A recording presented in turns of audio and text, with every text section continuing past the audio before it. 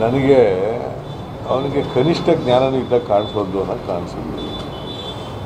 ಕನಿಷ್ಠ ಜ್ಞಾನನೂ ಇರೋದಿಲ್ಲ ದುರುದ್ದೇಶದಿಂದ ಹೇಳಿದರೆ ಮಾತು ಅವರು I T, income tax, E D ಯಾರ ಅಧೀನದಲ್ಲಿರೋದು?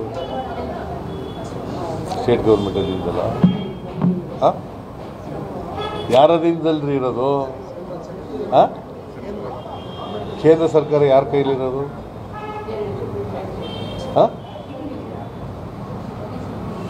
ಮತ್ತು ಯಾವ ಉದ್ದೇಶದಿಂದ ಹೇಳಿದ್ದಾರೆ ಅದನ್ನು?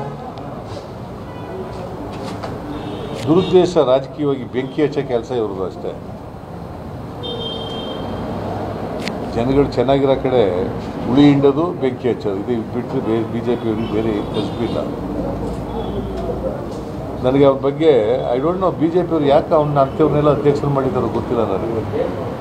ಕನಿಷ್ಠ ಜ್ಞಾನ ಇಲ್ಲದಿದ್ದವ್ರನ್ನ ಕನಿಷ್ಠ ತಿಳುವಳಿಕೆ ಇಲ್ಲದಿದ್ದವ್ರನ್ನ?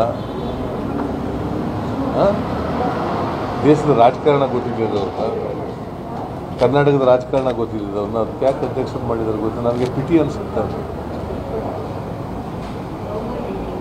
ಅದಕ್ಕಿಂತ ಏನು ಹೆಚ್ಚು ಹೇಳಬೇಕಾದ ಅಗತ್ಯ ಇಲ್ಲ ಅವರು it's a totally politically motivated statement it's a baseless statement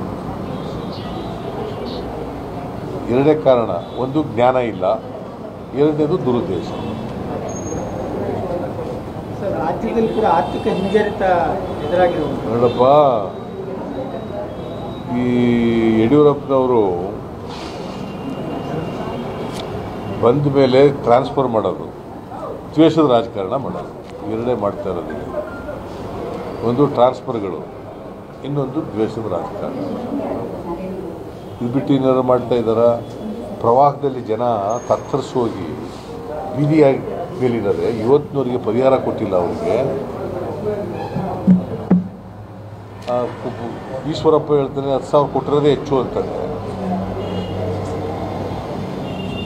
ಇವ್ರಿಗೆ ಜನರ ಬಗ್ಗೆ ಕಿಂಚಿತ್ ಕಾಳಜಿ ಇಲ್ಲ, ಬಡವ್ರ ಬಗ್ಗೆ ಕಾಳಜಿ ಇಲ್ಲ.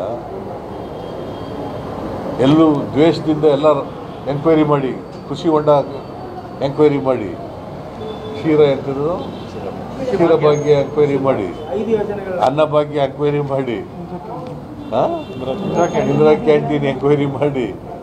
ಸಿ ಈ ದ್ವೇಷದ ರಾಜಕಾರಣ ಇದೆಯಲ್ಲ? ಯಡಿಯೂರಪ್ಪನವರು ಮೊದಲನೇ ದಿನ ಹೇಳಿದ್ರು ನಾನು ದ್ವೇಷದ ರಾಜಕಾರಣ ಮಾಡಲ್ಲ. ದೋಷ ಮಾಡಲಿಕ್ಕೋಸ್ಕರ ಹಂಗೆ ಹೇಳಿದ್ರು ನನಗೆ ಕಾಣಿಸುತ್ತೆ.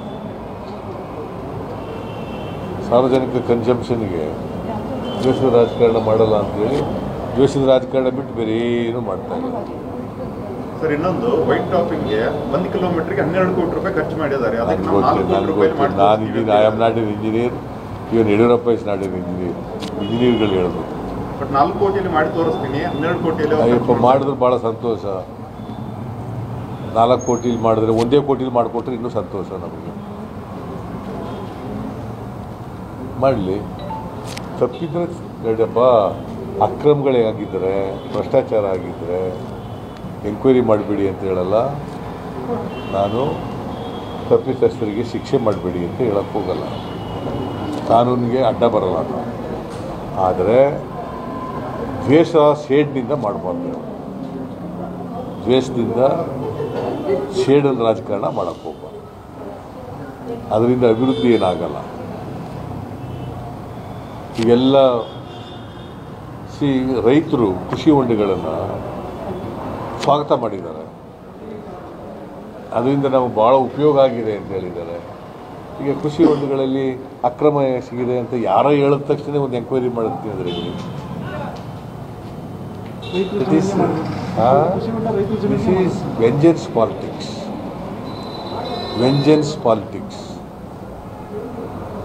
vengeance politics ಭಾಳ ದಿನ ಪ್ರಜಾಪ್ರಭುತ್ವದಲ್ಲಿ ಜನ ಅದಕ್ಕೆ ತಿರುಗೇಟು ಕೊಡ್ತಾರೆ ಅವರು. ಅವ್ರು ಪಾಠ ಕಲಿಸ್ತಾರೆ ದಿಸ್ ಇಸ್ ನಾಟ್ ಕರೆಕ್ಟ್ ಈಗ ನಾನು ಐದು ವರ್ಷ ಇದ್ದೆ. ಒಂದೇ ಒಂದು ದಿನ ವೆಂಜನ್ಸ್ ಪಾಲಿಟಿಕ್ಸ್ ಮಾಡಿಲ್ಲ, ದ್ವೇಷದ ರಾಜಕಾರಣ ಮಾಡಿಲ್ಲ. ಒಂದು ಐದು ವರ್ಷದಲ್ಲಿ ಯಾರ ಮೇಲೂ ಕೂಡ ದ್ವೇಷದ ರಾಜಕಾರಣ ಮಾಡಕ್ಕೆ ಹೋಗಿಲ್ಲ. If you like this video ಬೇಗ ಲೈಕ್ ಮಾಡಿ ಕಾಮೆಂಟ್ ಮಾಡಿ ಶೇರ್ ಮಾಡಿ. ಹಾಗೂ ಯೋಯೋ ಟಿವಿ ಕನ್ನಡವನ್ನು ಸಬ್ಸ್ಕ್ರೈಬ್ ಮಾಡಿ.